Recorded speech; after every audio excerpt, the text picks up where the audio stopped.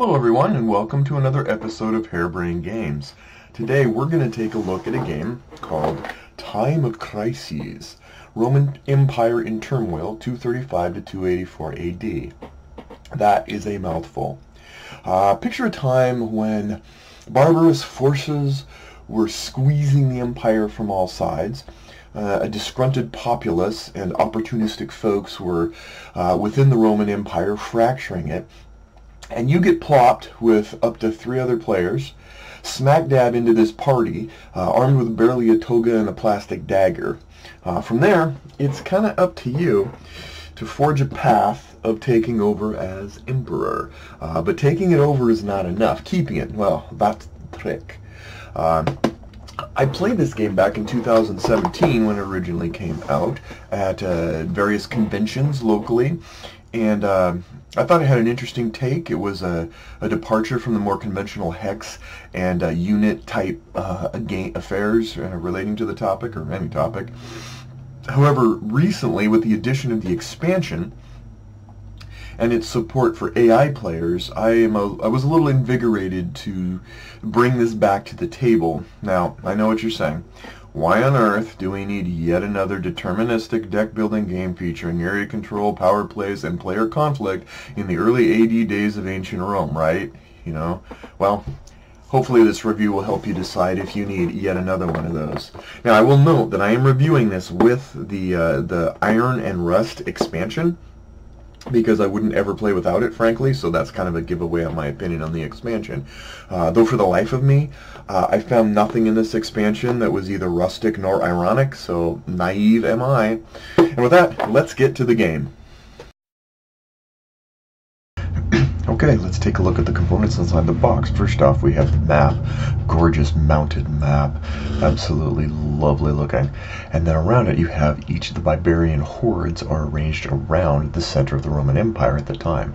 These will wreak havoc when they are activated, and they will slowly, slowly grow, and then they will invade in and will crush you if you're not careful or at least crush areas. You have the score track with your legacy token and the emperor turn. Uh, these come into play because this is really the end game condition. And then you have different various uh, pretend emperors that you can actually contend with contend with the pretend. Also, we have an event deck. Now, if you roll a 7, you will get events, and these events will change gameplay radically over the course of a turn until the next event. Uh, they're good and bad and all points in between. Uh, then we have the bot. This is in the expansion, and being in the expansion, you will see that it has a different personality, one of three personalities, quasi-personalities. Uh, we'll talk about that more later. Uh, it also has a four-page placard AI guide, and this is all you need to know to be able to control all three of the bots that you are playing with. Again, we'll go over that later. Uh, both of the manuals are succinct but very detailed and very uh, to the point. And then each player is going to have their own play area placard with their deck of cards to begin with. You will have uh, governor tokens, one you'll begin with, general tokens, one you'll begin with, and uh, and then these you'll grow, you'll pay influence for and add generals and governors over time. Uh, the card itself gives you everything you need to know about how to spend your points, uh, your turn sequence, all the different actions in the three realms, everything's here um, to be able to let you manage your empire completely. Very nice the red turns, and then we have the cards. Now the expansion doubles the amount of cards, which is utterly essential in my mind. Each of these cards is used not just for the influence, but also for the action. That might be a little different for people who are used to playing either or. This one's you get the influence, and you can also take the action on the card when it's played. So double bonus. Uh, you have upgrades, which you can use in your provinces to be able to do things like make it easier to govern. Uh, you can hold back uh, barbarian forces for a little longer with limes. Um, you also have units that you'll purchase for your generals, military units, uh, all custom named, very fancy. The number on the front and back is the amount of die or these die roll that you need to hit. Three hits, but if you get wounded, five hits, and then after that, the token's gone. Plus, you have militia markers that stay in an area but can be used for defense, and they always hit on a five or more. Uh, you have mob counters because once the mobs start rolling, they get larger and larger unless you can quell the mob rule. Uh, you have uh, neutral governors, which you'll easily sideswipe as you begin the game, and uh, no place governors if you play less than four players that blocks off an area. And you have dice. Dice are uh, square things that you roll, and numbers show up on the top. Kidding. Anyway, that's it. Now let's get into some gameplay. Begin, shall we? Turn one always involves the bots. So we're going to go over here and we're going to start. The bots don't have cards. Instead, what you do is you follow the yellow brick road. If there are two cylinders in the zero track, and they're not, I'll explain it to you. If the AI is not Emperor and has 50 legacy, nope. If the AI has any troubled provinces, troubled is basically when you have trouble afoot in the province in the form of barbarians or um, etc. Uh, if the AI has mobs, it does not. If none of the above, you go into mode 1. Now that means you place this here. What does that mean? It means that your primary influence will be there, your secondary, military, will be on the bottom spot. The bottom spot. Now see, as these go, as you increase in uh, in influence, and this will happen. Instead of cards, you're going to go up the track. So instead of having a more powerful hand, you're going to have more um, of an idea of yeah, that you get more powerful with more uh, influence to spend. And these are events. These allow the AI to have events. They have separate kind of alternate ideas of what happens when the events occur. Uh, um, like if a player played a card, that would be one thing. But when the AI has an, an opportunity, then it will do something a little bit different. Either way, it affects the game, etc., etc. So with that, we now have an opportunity um, there's a couple extra steps that might add some more influence under certain conditions, but for this point, this 3 goes over here, and this 2 goes over here. And those are the points to spend. Now this is where it gets interesting because we're going to go through our little our little chart. Now what's cool about the chart is that uh, because you're only spending two sort of spheres at a time, military, um, Senate, or populace, you know that basically if if the if the uh, influence tokens that you have they are if if you don't have the yellow one for example here you know you can just skip this entire third of it. So on any given given roll you're probably only you're going to be able to pretty much chop off a third of the of the um, chart and not even have to worry about it. So does expedite matters. The first thing you do is you go through the military section here because we have military points to spend and it asks certain things. Will we attack? Well we don't have anybody to attack yet uh, do, do, we have anybody? Yeah, if AI is emperor. So skip, skip, skip. See how easy that is? Um, and then you attempt to govern. If there's no governor in the leader's box, and there currently is not any governor in their leader's box, then you uh, basically are going to try and recruit the governor. Well, how easy is that? Basically, you look and go, oh, I have a, a one governor. Hello, gov. Cost me one point. So I place that. Now it's ready to go. And then this drops down one to cover the cost of it. So you're able to place it. Go now it's a matter of do we place it on the map somewhere, and so you go through the rules and determine are there any places where you can place this on a map somewhere. Right now, taking over neutral provinces is pretty easy. All you have to do is have as much influence needed as there is votes. But if you have players or players with quaestors, uh, then you'll need to be able to have more than that. And so this we have two. And so we can look around the map, and in the case of ties, there's a tie-breaking element to it, but let's say for the sake of example, we're going to do this. And this, we're going to spend two influence points, double. Basically, you take, if it was two, it'd be four. If it's three, it's six. If it's four, it's eight influence required. And we don't need to roll dice on this because it's a success it's guaranteed success. If it was a player, it would not be guaranteed success. This goes back in, and now we have two provinces for the AI and spent our two influence points. Then we continue on and uh, train the AI Emperor. If the opposing player is Emperor, add Legion to the army with the fewest legions. Then determine if the AI will attack. So in the case of ties, so we have enough to basically buy a legion.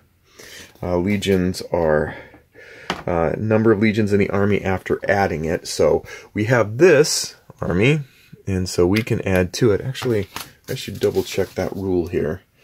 If the AI is emperor, if the opposing emperor, yeah, add legion. If it has no general, oh, yeah, uh, no, I can add. Yeah, no, I can. So I'm going to add myself a, a army here.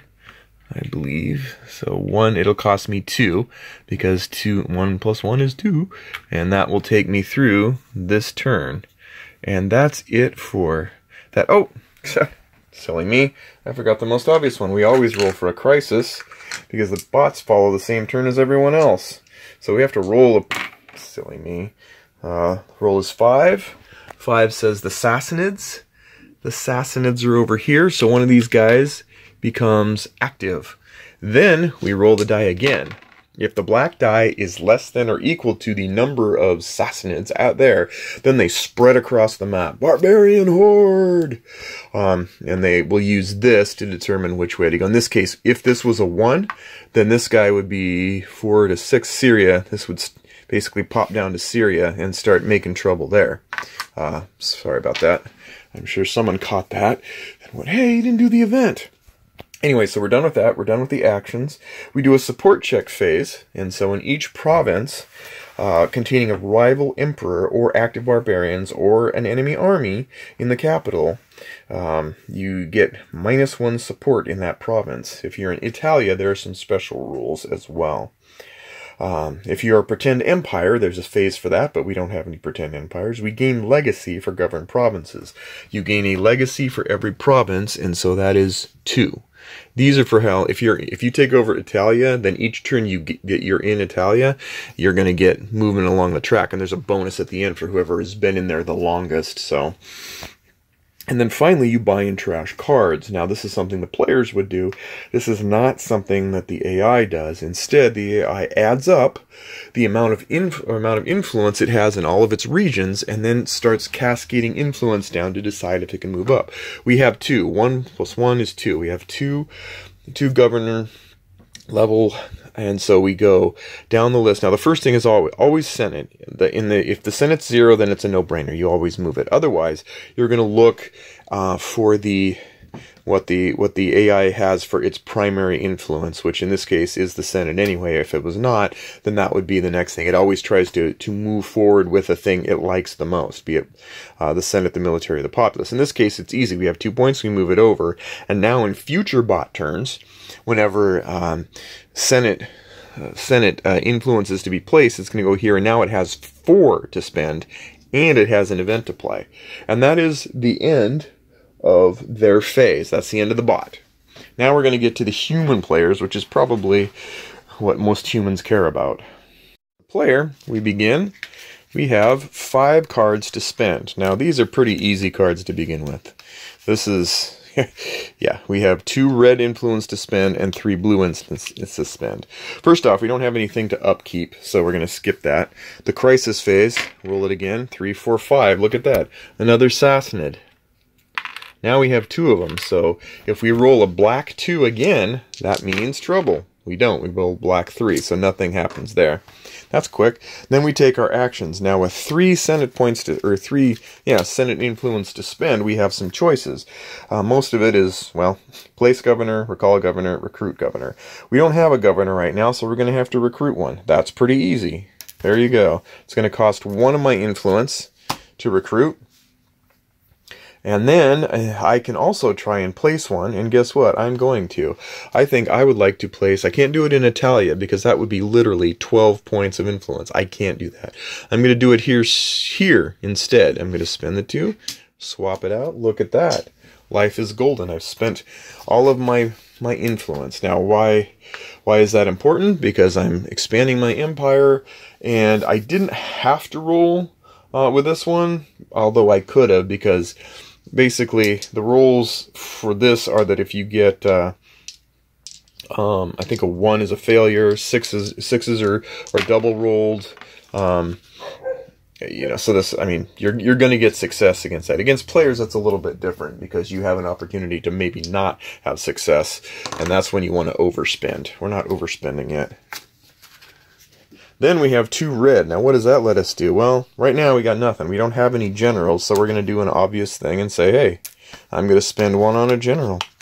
That's right. And then, I don't have an army, so I'm going to create an army, and because I have a place to put it now, um, I can one red point, general counter, Familia Vivas, full strength legion. Yep. So we take this, and we take this, and we're going to create ourselves. Yay! Look at that. Now we have more armies.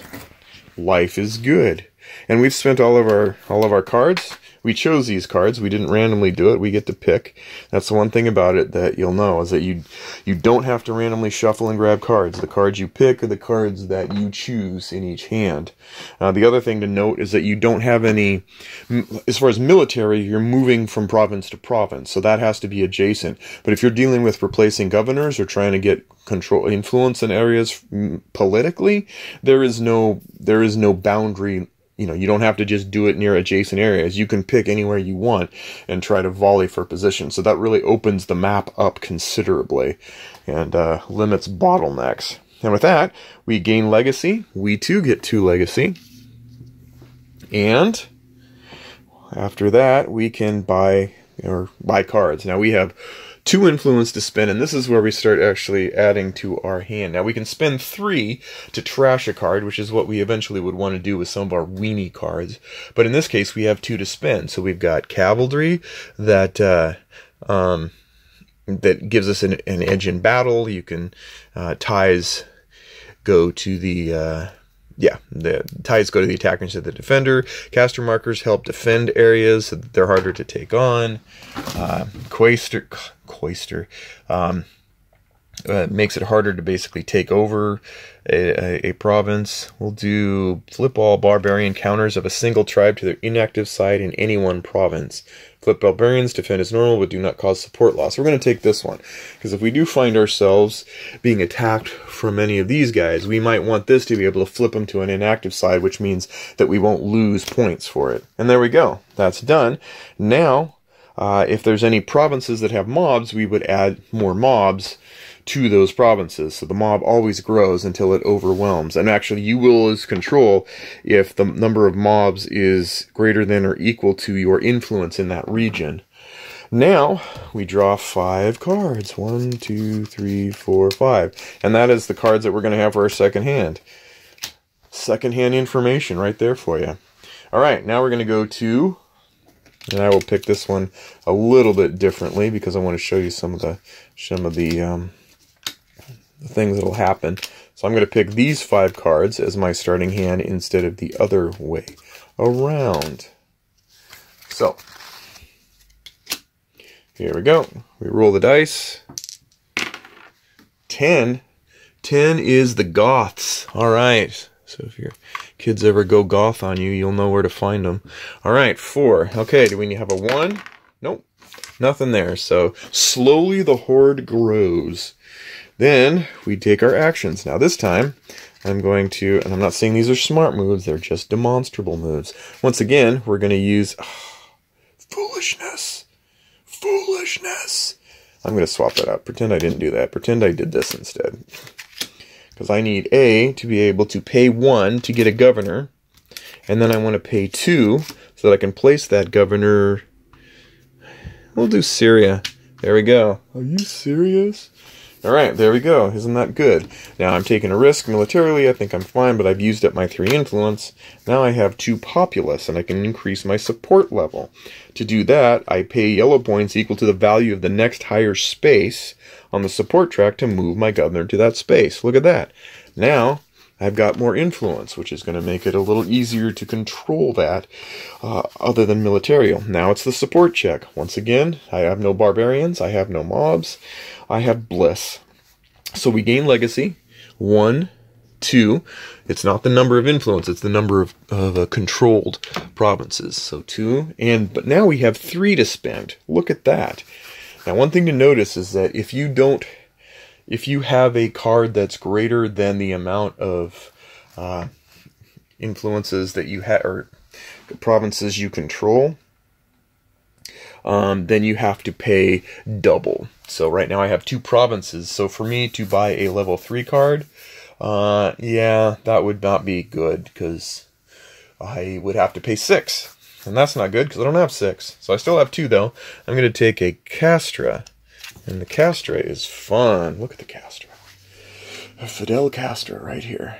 So that one, uh, Yep, the number of hits inflicted is reduced. So basically, it's it's a nice it's a nice way for your units to be protected from at least the first hit. Pretty cool. All right, so with that we're done.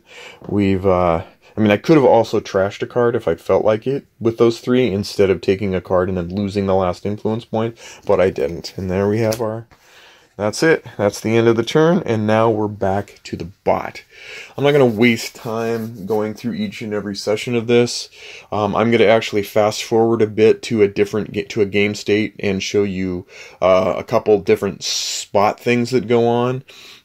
Uh, but other than that, everything else just flows with this buying cards, using cards, etc. So give me a second, and we'll go over a advanced state of the map. One other side note is that as the neutral governors were removed from the table, I should have been dropping influence in Italia. So let's reset that and make sure that it's understood that every time that we take over a province in Italia or province that was owned by whoever owns Italia, we do drop the influence because this is directly affected by the amount of governors you own. So for example, if yellow had been in Italia, it's it would have a 2 influence. So just letting you know that farther in the game. So let's go over some game state that we have. Right now we have a, an upgrade built here in our red player. Syrian province. This amphitheater means that mobs do not grow at the end of the turn like they normally would. Mobs that grow large enough can actually dethrone a governor, and so in this case, the mob is here. It will cause issues, but it will not grow uh, naturally. It has to be um, it's basically stifled from the mob growing any larger because of the amphitheater. So that there's fine. We have cards to play. Uh, a mob lets us actually put a mob anywhere where there isn't a mob. And so, for instance, if we wanted to cause some trouble, put them there, and suddenly yellow has two provinces with mobs to contend with. That's something that can be done as well. Uh, there's also initiating attacks. In this case, we have barbarians here. And notice limes actually as as these should for example, the Gauls come through here, everything down here has to is flipped inactive for a turn because of limes. Otherwise, it would just go through. So, limes disease has weakened the barbarians, so to speak. So then it's time for battle. Now, in this case, you would pay one military point, and you would be able to take this set of units, and you would be able to attack this set of units. Now, when that happens, the way that battle works is that you have you roll dice and inflict hits simultaneously. Each six six gives you another roll. Armies in battle can't move or initiate actions until their owner's next turn. Hits inflicted on your forces are taken in order of militia, barbarians, and legions. You can have guest barbarians on your show. So here's what we're going to do. We're going to take and roll. It's simultaneous, it doesn't really matter what order, but we're going to take and roll two dice. Malicious um, on five. Guess what? That's a hit. And that on three or more. So look, two hits. So we know we're going to take out the barbarians. But the barbarians get a chance too. They get a parting shot. They always hit on a four. Nope, there's one hit there. And they hit on a two. So only one hit here. So how we're going to resolve this is that these two are gone. Goodbye. They go back into the inactive queue. This is a hit, though, and uh, the militia take it first. They only take one hit and they're gone. If it had been this, it would have been flipped over and it would get a chance to remain a little longer. But that's the end of the battle. Now you get two points for a victory, plus you get a point for each barbarian you took out, so now we've got yellow back up in the running because of that combat. And that's very simple combat, very easy to work with. So, and that's that. We didn't go into the Emperor. Uh, Yellow has taken over Italia, which means that they're going to earn uh, some decent points. Um, actually, yeah, I did it right. Um, earn some points because they happen to be the emperor. Um, there's no pretender royal emperor on the map, so they're going to earn some some legacy uh, points equal to uh, their current value, I believe. Plus, they'll they'll get another chance to spend another turn as emperor. So uh, it doesn't look like a battleground yet. Uh, I definitely suggest watching some videos online if you can find them that will actually show a gameplay session start to finish. That's going to give you a real better understanding of sort of the flow of the game than what I've given you. I showed you the first turn, which admittedly is pretty simple. We can get into event cards, which if you roll a 7, which is a very common number, there are events that will stay in play. Things like you get bonuses, uh, you know, you, uh, one to the value of all Roman dice rolled in battle. That's uh, that's pretty cool. Raiding parties, etc., etc. Uh, if the Diocletian event, which is almost always in the which is in one of the back four cards, is drawn, the game is over. Uh, otherwise. The game is over when a player uh, hits 60 points and then uh, final scores are tallied. this is admittedly, like I said, is not a full-fledged overview. Maybe someday if I catch a, some initiative and motivation, I would I would do a full playthrough, and that would give a better idea of the rules. Um, but I did give you hopefully an example of kind of the things going on. There's a lot going on here, despite the simplicity and flow of the game, and a lot of interesting decisions to make. In fact, I don't think there's a, an uninteresting decision to be made. In fact, so with that, let's get to my final thoughts on what I think of Time of Crisis. All right, final thoughts on Time of Crisis, the Roman Empire in turmoil 235 to 284 AD with the Iron and Rust expansion pack. That was a mouthful. Let's get into the cons first, and there aren't very many. Uh, the first few turns you take of this game, it feels like a generally slow ramp up. That might be a bit of a surprise, but it's, yeah, you feel like you're kind of, uh, yeah, try this again. Okay, final thoughts on Time of Crisis, the Roman Empire in turmoil 235 to 284 AD with the Iron and Rust expansion pack. That was a mouthful. Uh, cons. Let's go with the cons first. There's a a marked uh, like curve to feeling like you're really powerful in the game. The, the first few turns are generally pretty pedantic and probably kind of indistinguishable. Like you start small, that's okay.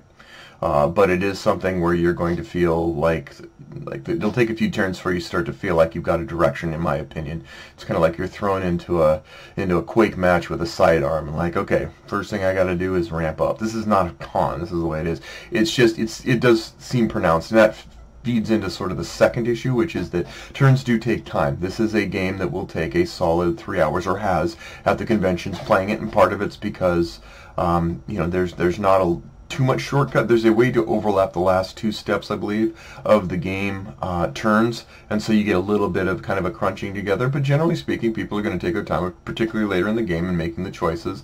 And so you will, in a four-player game, be spending a lot of time watching. But uh, I didn't personally find that too much of an issue because I was pretty invested in tracking game state and being engaged beyond just what I did on my turn, but seeing what the impact on the board was going to be for others. So that's about it. Not really a, a huge con at all. The AI uh, rules were tougher for me to grok than they should have been, probably because I overthought it. Uh, that's on me, not on the game. Uh, the bots, uh, if you're going to play the bots, especially if you're going to do solo, true solo, three bots and you, do it for the love of the bots as well, or else I think you're probably going to feel like you have just a minuscule uh, amount of time that really is your turn versus the time you're spending uh, pulling the ropes and, and turning the gears on the bots. I think that, uh, yeah, it's, it's, yeah, I mean, you'll, you'll have a quick splash of a turn and then you go around and force march the bots. If you're into role playing with the bots, that's great. It's fun to set them up, it's fun to play their actions and watch the results, uh, but it is kind of a duck duck goose where you're sitting in a circle and maybe 13 seconds out of every five minutes there'll be excitement, but it'll be cool excitement. And so that's why you do have to do it for the love of the game and not just if you're interested in simulating it. I actually, in, in sort of uh, contrast to some other opinions, felt like the SpaceCorp and uh, Scythe sort of, well, SpaceCorp with its simple, simple solo handling, uh, Scythe with its autom automata, automata, and uh, you know Great Western Trail, some of the others that have Autonoma, I think they do a really good job of simplifying it such that you can spend the lion's share of your time on your turn. Uh, the the uh, AI in those cases doesn't so much simulate as it simply just cuts to the chase and says, pretend I did something and here's what the board state's going to look like when I'm done. Uh, that also does lead to imprecision of, of the cho logic choices for those for those bots, and so you do know that you're making a trade-off. But here I thought, I'm not sure I'm not sure I would have wanted that approach anyway for this game, but we'll get into that when I get into the pros. Okay, pros. What do I like about the game? A lot. Um, I like that the card drafting is so de delightfully deterministic that I don't feel that I, I, I, feel a sense, a vivid sense of, of self-direction with me to thank or to blame for whatever happened out of it. It's not card-driven in the conventional sense of certain games that are card-driven games where I maximize the hand I'm dealt. It's more like I dealt myself the hand I'm dealing with, knowing that I made trade-offs as to what's in this hand versus what I'm saving for next hand. Uh, that's great. The map is gorgeous. Oh, I love this map. It is just, oh, I love it. I could, I could walk St. Paul's missionary journeys through it in a, in a glance and just kind of feel, feel like I'm there. It's really good. Um, the general, uh, yeah, it's the game is not, and it has to be understood that it's not a boots on the ground um, Memoir 44 kind of thing. But at the same time, it's not a high-level, cataclysm-level abstraction either at bird's eye view. In fact, it's probably the height of maybe an African swallow, uh, which is an interesting place to be because you have general and army movement uh, at a kind of a macro decision level, but you're still granular enough that you actually uh, can you know know your units by name, which is a very cool feature, by the way. Um, there's also influence jockeying between you know three spheres of power uh, you know, your popular power, your uh, Senate power, your military power, that all need to intertwine and uh, be fed and nurtured in order to do your best at the game.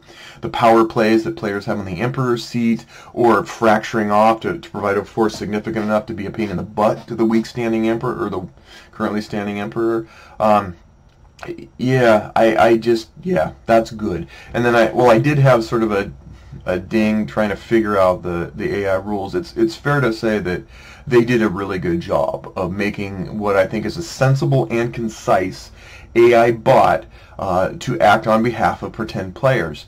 Uh, they um, it's a one pager, so it's really simple rules. Although let's be honest, it's two pages. There's one page, but then there's a, a whole subsection that's a second page that deals specifically with how you choose to attack or move.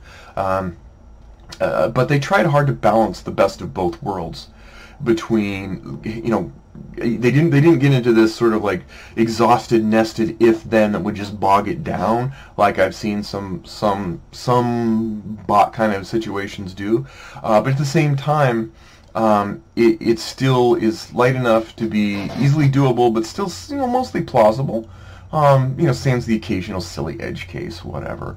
Uh, I had fun, and I had fun with the bots because I chose to to really invest in the sort of the backstory of each of the AIs. They do have personalities, and it makes sense the way the bots flow. I love that you're not simulating the entire other person. They do simplify down to you have almost a resource of colored points, and you use those points until you can't use them anymore to make the most logical decisions. They will be compelling. They will be silly at times, but for the most part, they will feel good. So if you don't mind going through and like being the bot, and then being another bot, and then being another bot, that's great. For me, the perfect fit would be two to three players and then a bot. Um, I would almost rather play two-handed solo with two bots.